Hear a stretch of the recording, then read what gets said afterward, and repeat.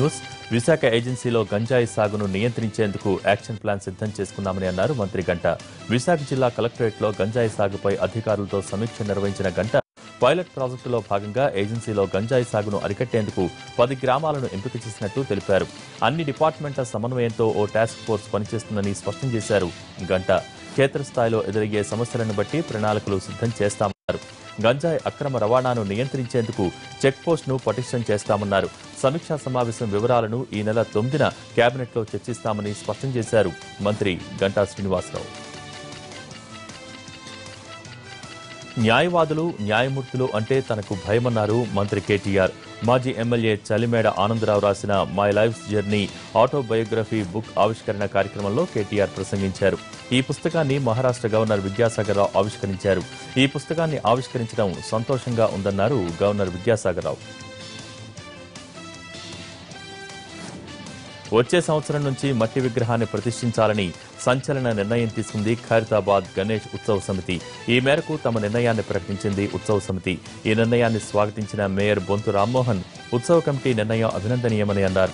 దీనిని ఆదర్శంగా తీసుకుని వచ్చే సంవత్సరం నుంచి నగరవాసులు మట్టి వినాయకులను ప్రతిష్ఠించాలని పిలుపునిచ్చారు మేయర్.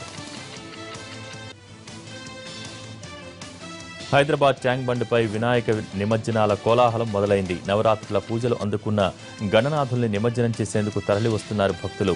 నిమజ్జనానికి వస్తున్న వారికి ఎలాంటి ఇబ్బంది తలెత్తకుండా ట్యాంక్ బండ్ ఎన్టీఆర్ మార్గుల్లో ప్రత్యేకంగా క్రేన్లను ఏర్పాటు చేశారు అధికారులు.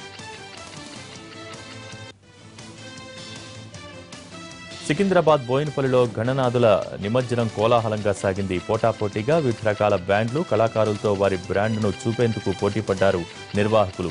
శివాజీ యువసేన ఆధ్వర్యంలో వివిధ రాష్ట్రాల బ్యాండ్లతో తరలిరాగా రాణాసేన ఆధ్వర్యంలో కేజీ బంగారంతో ముస్తాబైన గణనాథుడు నిమజ్జనానికి తరలించారు. ఈ నిమజ్జన కార్యక్రమంలో ఎమ్మెల్సీ మైనంపల్లి తనదైన స్టెప్పులతో చిందేశారు. బంగారు గణనాథుడి నిమజ్జనంలో కోలాటం ప్రత్యేక ఆకర్షణగా నిలిచింది.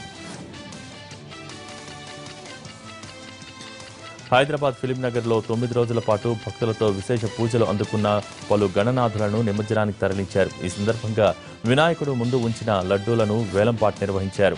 వినాయక్ నగర్లో ఫ్రెండ్స్ అసోసియేషన్ ఆధ్వర్యంలో ఏర్పాటు చేసిన వినాయకుడి వద్ద ఉంచిన లడ్డు నలభై రెండు వేల ఐదు వందల రూపాయల ధర పలికింది. ఈ లడ్డూను స్థానికంగా ఉంటున్న శేఖర్ అనే వ్యక్తి వేలంపాట్లో దక్కించుకున్నాడు. లడ్డు వేలం అనంతరం తాళాలు బ్యాండ్ బాజాలతో ఉత్సాహంగా స్టెప్పులేస్తూ వినాయకుడిని సాగనంపారు భక్తులు. తిరుపతి సమీపంలోని తుమ్మలగుంటలో చంద్రగిరి ఎమ్మెల్యే ఆధ్వర్యంలో ఏర్పాటు చేసిన ముప్పై నాలుగు అడుగుల మట్టి వినాయకుని నిమజ్జన కార్యక్రమం వైభవంగా నిర్వహించారు.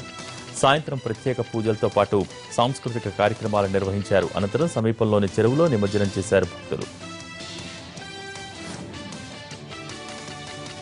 సంకల్ప స్వచ్ఛంద సంస్థ ద్వారా పేద పిల్లలకు సేవ చేయడం చాలా మంచి నిర్ణయమని అన్నారు ప్రముఖ నటి పూనం కౌర్ ఖమ్మం నగరంలోని ఐఎంఏ ఫంక్షన్ హాల్లో తలసేమియా వ్యాధిపై నిర్వహించిన అవగాహన సదస్సులో పాల్గొన్న ఆమె ఈ వ్యాధిగ్రస్తులకు ఏర్పాటు చేసిన స్వచ్ఛంద సంస్థ ద్వారా ఎంతో మంది పిల్లలకు రక్తదానం చేస్తున్నామని అన్నారు.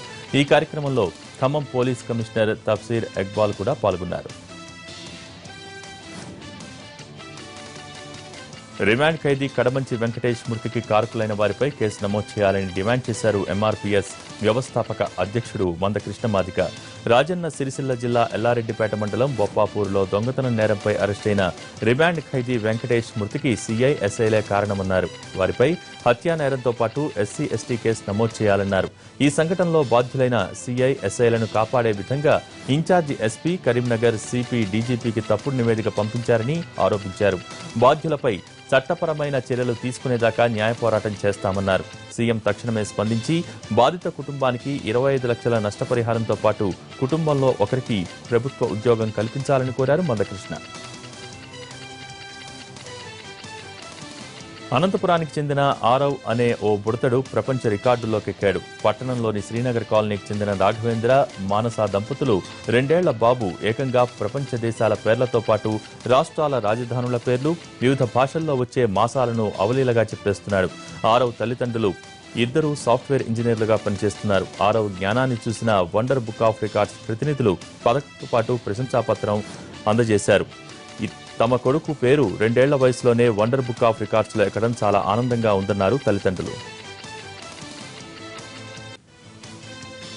కరీంనగర్లో పలు దొంగతనాలకు పాల్పడ్డ బీహార్ ముఠాకు చెందిన ఇద్దరు దొంగల్ని పట్టుకున్నారు పోలీసులు. వీరి వద్ద నుంచి ఇరవై వేల రూపాయలు స్వాధీనం చేసుకున్నారు. ఈ ముఠాకు చెందిన మరో ఏడుగురు దొంగలు పరారీలో ఉన్నట్టు తెలిపారు కరీంనగర్ సిపి కమలాసన్ రెడ్డి. ఈ ముఠా గుజరాత్తో పాటు మధ్యప్రదేశ్ భోపాల్ కెనడా రాష్ట్రాలలో దొంగతనాలకు పాల్పడినట్టు విచారణలో తేలిందన్నారు. చెన్నైలో వీరు మూడు కోట్ల విలువైన వాచ్లను కూడా దొంగిలించినట్టు విచారణలో తేలిందన్నారు సిపి.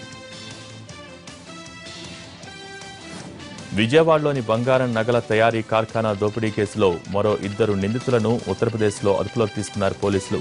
ఉత్తరప్రదేశ్కి చెందిన రామ్ లఖన్ సింగ్తో పాటు పంకజ్ సింగ్లను అరెస్ట్ చేసిన బెజవాడ పోలీసులు వారి నుంచి పిస్టల్స్ను స్వాధీనం చేసుకున్నారు.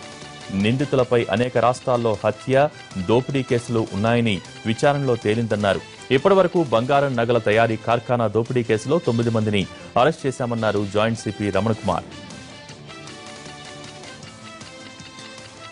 యాదాద్రి జిల్లా చౌటుప్పల మండలం లింగోజీగూడెం గ్రామంలో భార్యను చంపేశాడు ఓ భర్త. ఖమ్మం జిల్లాకు చెందిన రాములు సుగుణమ్మ దంపతులు లింగోజీగూడెం గ్రామ శివారులో వ్యవసాయ కూలీలుగా పనిచేస్తున్నారు. రాములకు మరో మహిళతో వివాహేతర సంబంధం ఉంది. ప్రియురాలి మోజులో భార్య గొంతు నిలిమి చంపేసి ఖమ్మం పోలీస్ స్టేషన్లో లొంగిపోయాడు. రాములు ఇచ్చిన సమాచారంతో లింగోజీగూడెం గ్రామంలో సుగుణమ్మ మృతదేహాన్ని స్వాధీనం చేసుకున్నారు. మంచిర్యాల జిల్లా నస్పూర్ మండలం శ్రీరాంపూర్ కాలనీలో అదనపు కట్నం కోసం భార్యను హత్య చేసిన కేసులో భర్తతో పాటు అతని కుటుంబం కటకటాల పాలైంది. సాగర్కు రజితతో గత ఏడాది పెళ్ళైంది. రెండు లక్షల కట్నం ఇచ్చారు. అదనపు కట్నం కోసం రజితను వేధించి ఉరివేసి చంపేశాడు సాగర్. ఈ కేసులో సాగర్తో పాటు ఆరుగురు కుటుంబ సభ్యులను అరెస్ట్ చేశారు పోలీసులు. నలుగురు అంతర్రాష్ట్ర దొంగల ముఠాను అరెస్ట్ చేశారు మహబూబాబాద్ జిల్లా పోలీసులు. వారి నుంచి ఏడు లక్షల రూపాయల విలువైన పద్దెనిమిది తులాల బంగారం పది తులాల వెండి ఆభరణాలు రెండు టూ వీలర్లు ఓ సెల్ ఫోన్ స్వాధీనం చేసుకున్నారు. దొంగిలించిన సుత్తు నర్సంపేటలో అమ్మేందుకు వెళ్తుండగా దొంగలను పట్టుకున్న పోలీసులు రాష్ట్రంలోని పలు జిల్లాల్లో వీరిపై పదహారు కేసులు ఉన్నట్టు తెలిపారు.